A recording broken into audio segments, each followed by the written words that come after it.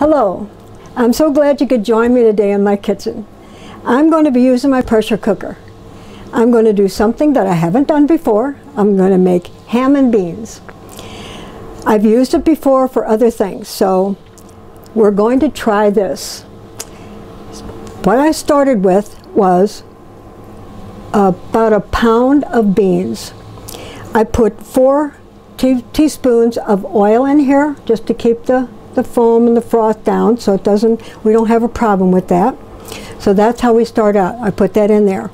To that, I'm going to add ham hocks. One cup of these ham hocks. We'll put that in. Then I'm going to add two cloves of minced garlic. I buy this already minced in the grocery store. I mean, you can do what you want if you, you, you know, you want to use regular, um, you want to mash it up yourself, that's fine.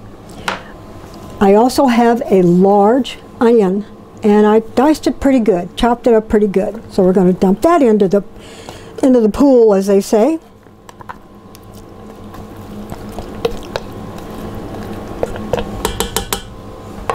Then to that, I'm going to add one medium carrot, also diced up.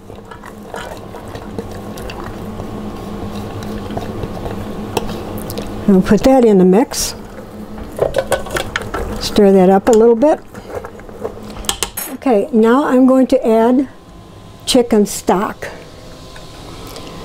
Uh, probably about four cups, but I'm just going to put it in until it covers.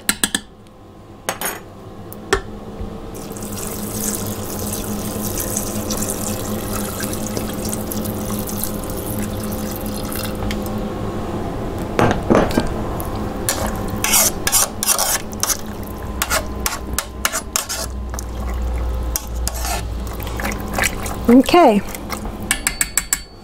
Now, and one bay leaf. Okay, we're going to pop this on.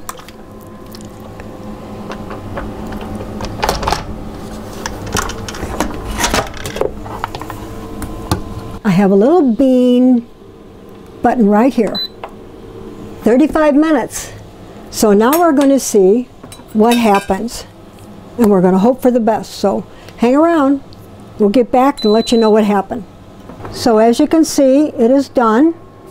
Um, it was cooking for 35 minutes. I probably didn't mention that before, but it doesn't matter because it was automatic. But it's all finished, and now I'm going to release the steam. I'm going to add the last three ingredients. This especially you want to add at the end because salt will cause the beans not to cook real well. So you don't want to put that in until they're already done cooking. So let's release and see what we have here. Oh, there it goes. Okay, so let's release it. Oh, look at that.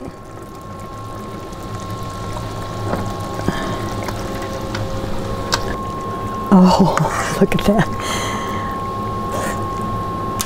Just beautiful. The onions are all cooked as you can see. They're all nice and soft.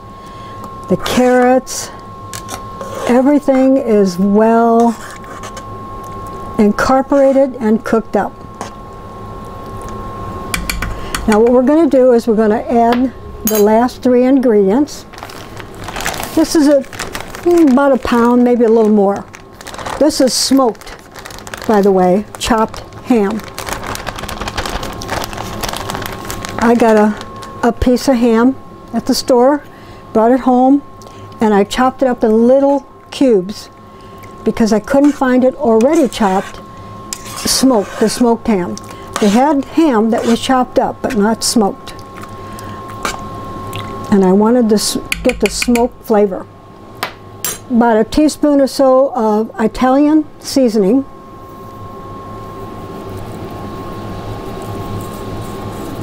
Get some flavors there. And this is to, to, to taste, salt to taste.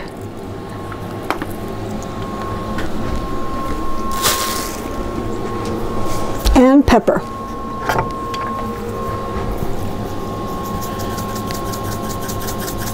I like a lot of pepper.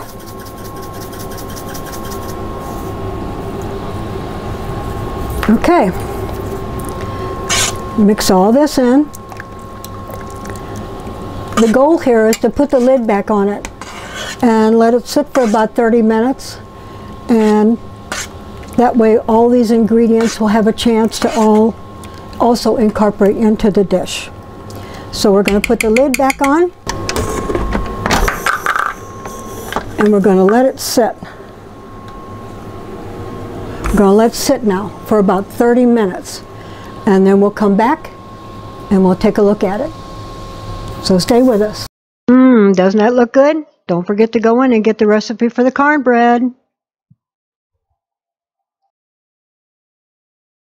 Okay, ham and beans recipe. I hope you liked watching me put this together.